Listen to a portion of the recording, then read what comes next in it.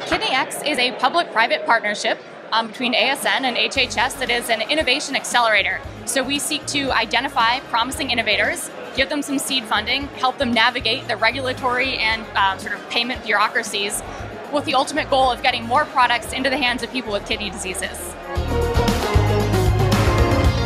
When our organs fail, we usually die.